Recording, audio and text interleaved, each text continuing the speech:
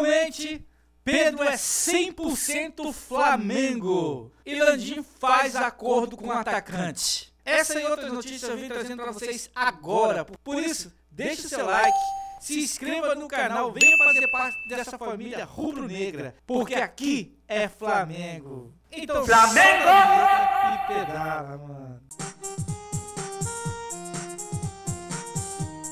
Flamengo!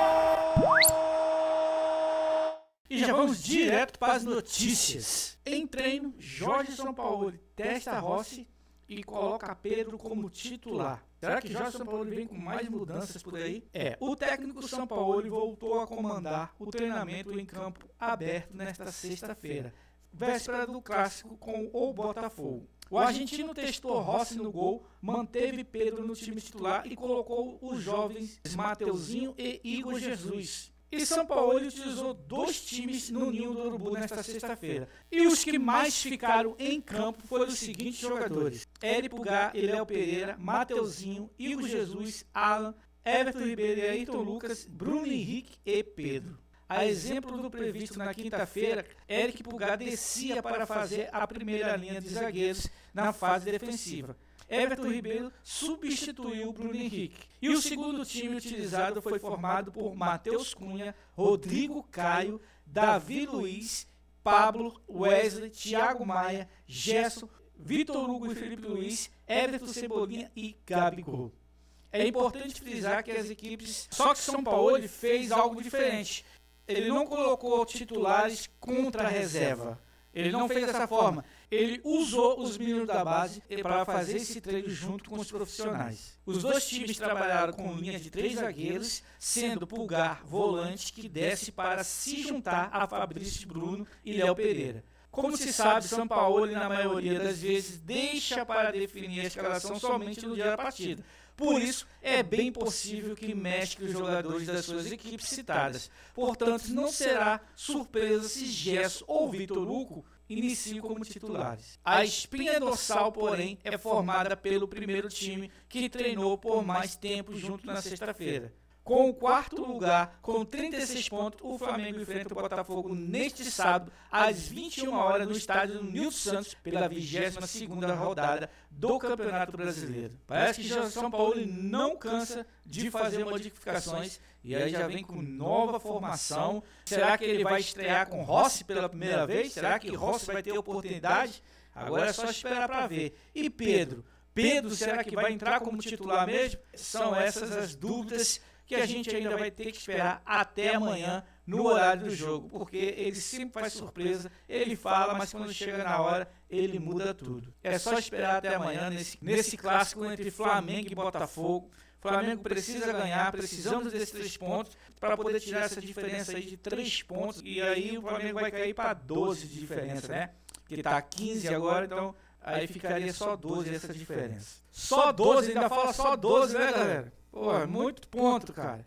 É muito ponto para tirar. Por isso que vou fazer essa pergunta para vocês. Vocês acham que ainda o Flamengo pode conseguir tirar essa diferença do Botafogo? Se ainda tem torcedor rubro-negro que acredita nessa virada de mesa, deixe nos comentários aí abaixo, tá bom? Quero ver aí se tem pessoal ainda confiante aí no Mengão, uma reviravolta nesse campeonato. Agora vamos mudando de assunto e finalmente os torcedores podem respirar tranquilamente. A janela de transferência da Europa fechou hoje, dia 1 Não tem mais negociação. Se encerraram as, as negociações. Quem levou, levou. Quem não levou, não leva mais. E com a janela fechada, Pedro é 100% confirmado no Flamengo. E finalmente chega o acordo entre Flamengo e Pedro, né? E a boa notícia que eu trago para vocês, nós já sabemos que Pedro e São Paulo não se dão muito bem. Não se batem. Parece que São Paulo não dá muito crédito ao Pedro. Parece que São Paulo não consegue ver que um jogador que pode ser decisivo o Flamengo, ainda mais agora nesse segmento do Campeonato Brasileiro e, na, e nas finais da Copa do Brasil.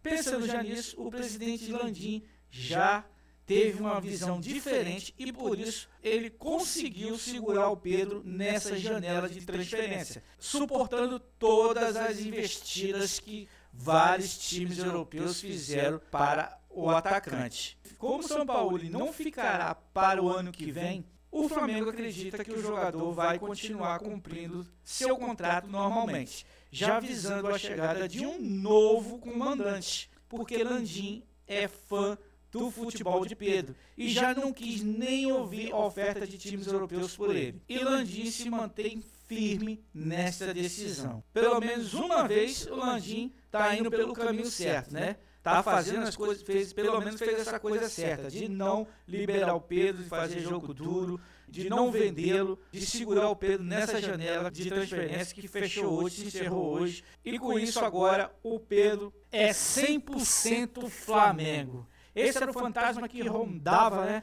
esse fantasma estava às portas aí, querendo aí fazer esse desfalque no Flamengo grandioso, que ia ser um desfalque tremendo se o Flamengo, se a diretoria, se o Landim se desfizesse do Pedro. Cara, aí seria mesmo pior da decisão que ele poderia ter tomado. Mas felizmente, para a alegria de toda a nação, o Pedro vai continuar no Flamengo, por enquanto até a próxima temporada, né? Nós não sabemos direito qual foi o acordo que teve aí entre o Landim e Pedro, o que, que eles conversaram, mas eu creio que as coisas podem mudar, que as coisas podem melhorar aí para Pedro e quem sabe aí o Pedro vai começar a ser usado aí pelo São Paulo e esse menino aí precisa entrar em campo, ele precisa ser útil, cara. Quando ele começar a sentir de novo que ele é uma peça necessária no time e, e que é um jogador importante para o clube, aí ele pode ativar o, no, o modo turbo de novo e voltar a ser aquele goleador, aquele finalizador, aquele matador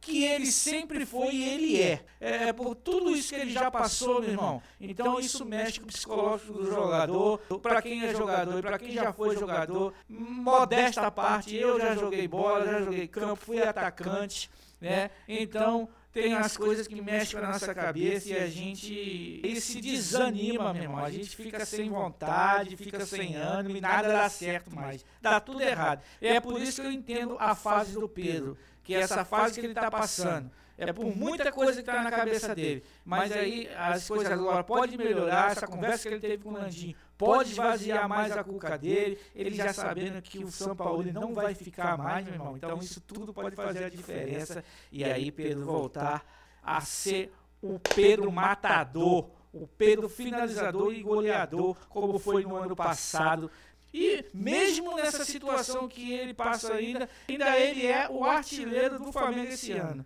Para você ver como o cara é craque, como o cara é goleador. Essas foram as notícias de hoje.